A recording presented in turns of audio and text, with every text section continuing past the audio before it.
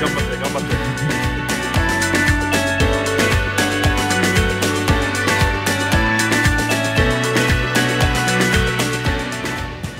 まあ個人としても移籍して